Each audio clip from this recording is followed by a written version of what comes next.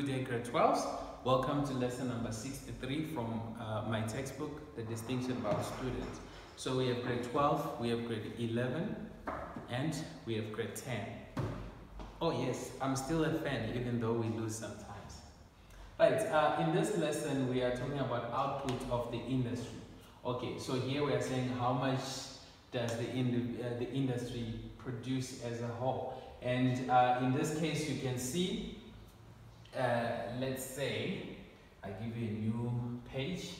All right, this is our industry. Uh, the demand curve is downward sloping and the supply curve.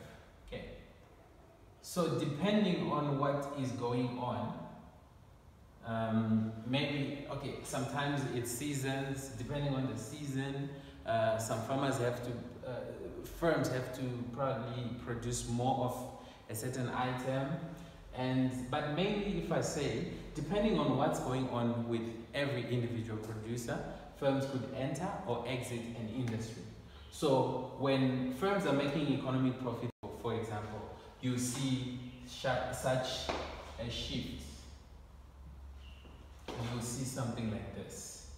Supply increases as it shifts to the right. Okay you see supply curve. So we have a new demand curve.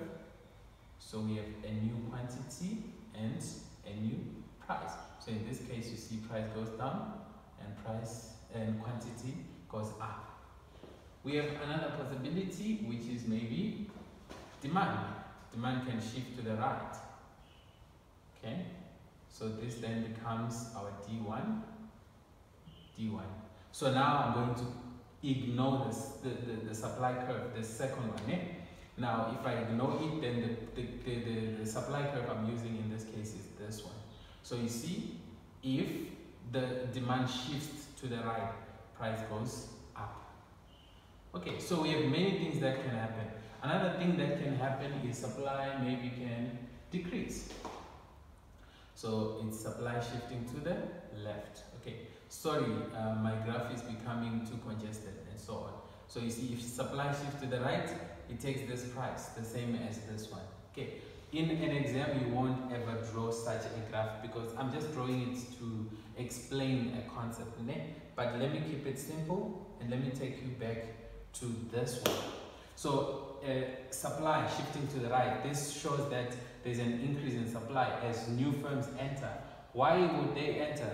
if there is the, if there is anything that is attracting firms to an industry uh, of this nature, they will enter, and uh, that entry is free. So it, it, it's it's obvious that they will enter because there is that freedom. Okay, and in this case, okay, this graph here is showing what are the possibilities then to that individual firm when uh, firms enter an industry. All right, so I think I'll have to draw them next to each other. But uh, I'll, I'll, proceed, I'll, I'll, explain this concept again in future lessons. In this one, I'm just going to go fast because it's not as important yet. Okay, so this is our supply curve, that's our demand curve, and this becomes our quantity, this is our price. So you are a price taker. So now what I want to show is what happens with the individual firm. So the firm is taking the market price. This is the D is equal to AR, which is MR, and this is our marginal cost curve. And this is our quantity. Right, now let's assume we have this kind of a scenario, which is weird at the moment because you don't know what kind of scenario is this. And I'm not going to explain it yet. You'll see in future lessons. Okay, this will be our price. So what we call this kind of a scenario is it's an economic profit. So this attracts firms to enter the industry. And so when those firms are attracted, they do enter because they don't have that restriction. They are allowed to enter because entry is free. So when new firms enter the industry, supply increases. So this represents, because this is zero, right? As we, as we go to the right, it's increasing. Whatever it is that goes to the right, it's increasing. If it goes to the left, it's decreasing. So this goes there, it's decreasing of the demand curve. If the demand curve goes there, it's increasing. Same applies, supply, supply, all right? So this kind of a scenario causes firms to enter. So when they enter, supply shifts to the right. And when it does, price decreases. This is our new price, P1. And quantity for the entire industry increases to Q1. So you are a price taker. So you will take this market price. So you see in that sense, your D is equal to AR is there now. So you, you, you, the price goes down. This is what we call normal profit. We'll explain it in the next lessons. So this particular lesson, um, just trying to explain, um, you can see the difference here. Yes, output for an industry and output for an individual.